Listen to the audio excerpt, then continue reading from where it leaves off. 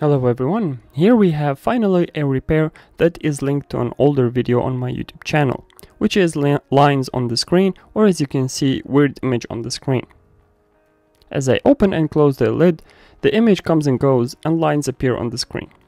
As I said before, this became a factory issue after Apple fixed the backlight problem in the previous models. But weirdly there were a couple of the older models, the A1706, A1708 and so on, that came in for repair with the same problem. So I won't say that this issue is for the newer models only, it's an issue with the models after 2016. We'll leave a link to the video in the description, where I explain why this is happening. But now, finally, I have the time to show you how to fix this issue.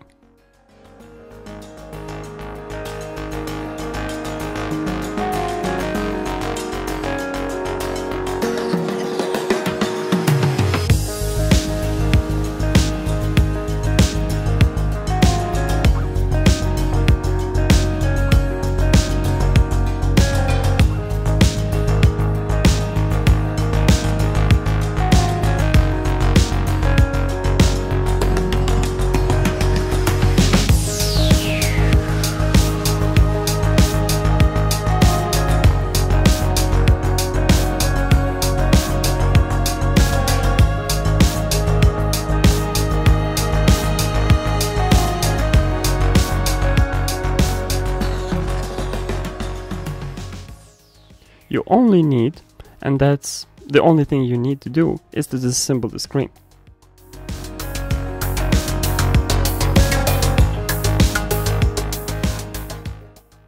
Oh, uh, I forgot to tell you, and you also need to remove the logo panel to get to the ScreenFlex cable.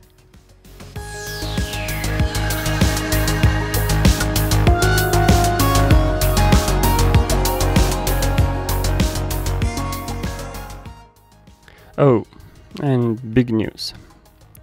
The panel cracked during the assembling.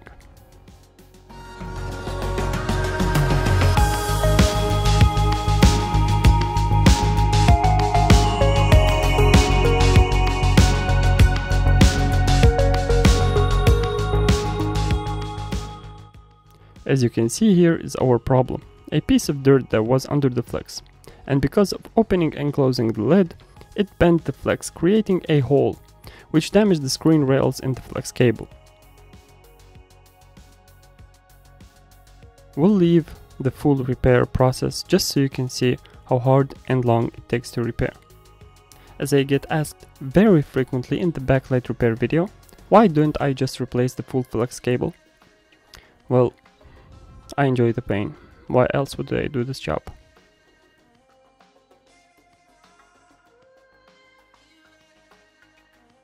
So the basic thing here you need to do is to scrub off the protecting mask until you get to the flex rails. Then clean the second protecting layer very carefully, because then comes the rails themselves.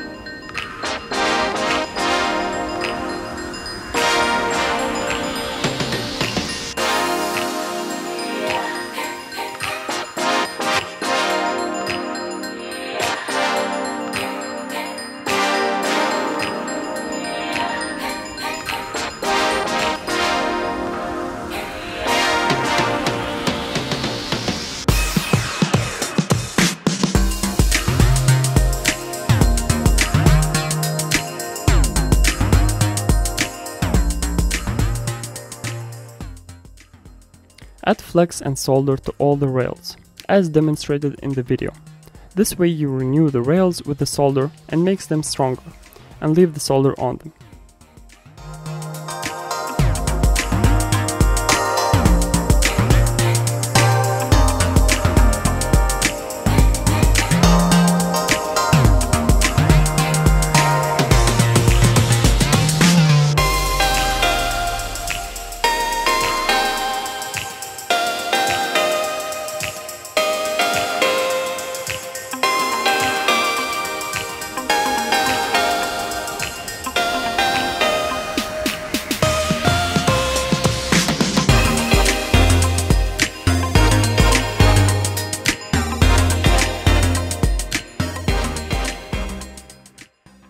Here I have 4 rails that needs a jumper wire to renew them.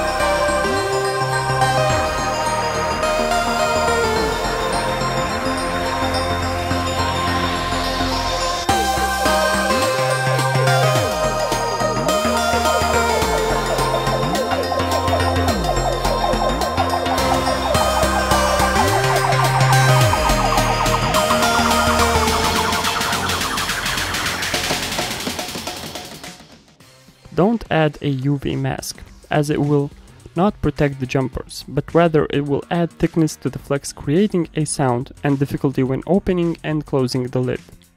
Just add normal thermal tape and that should do the trick.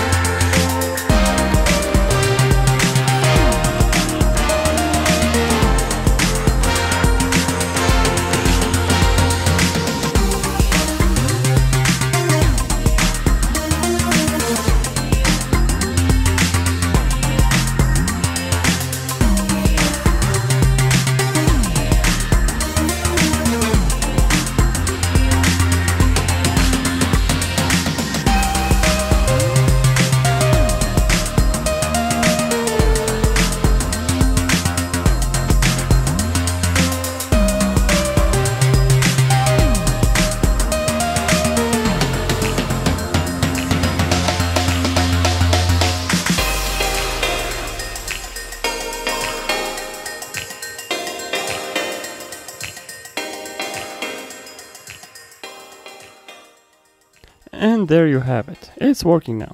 Unfortunately, this is not a permanent repair. As I explained in the previous video, this issue appears because of the dirt and the dust that goes into the MacBook, and it can repeat itself on the second flex cable or even on the same one. But we do our best to prevent that from happening by cleaning our MacBooks. Right?